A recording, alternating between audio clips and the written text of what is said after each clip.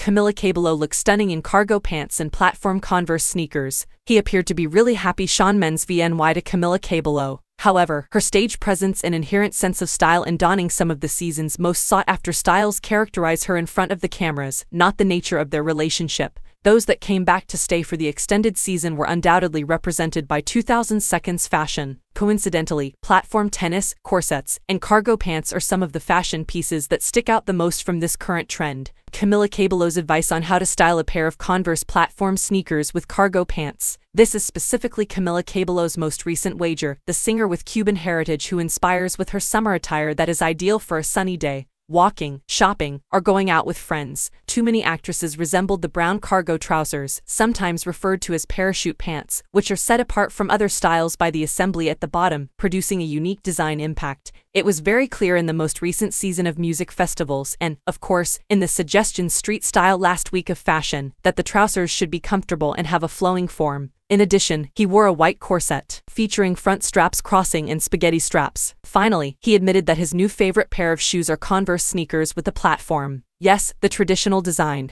The Chuck Taylor may reinvent itself in a variety of styles and hues, and there is even a high platform version that is ideal for a graceful silhouette. Camila Cabello demonstrated how the accessories flawlessly complemented the Y2K Nature's appearance. He matched the black XL bag with some silver hoops earrings and some huge black sunglasses. She unquestionably serves as a source of inspiration for the summer conference.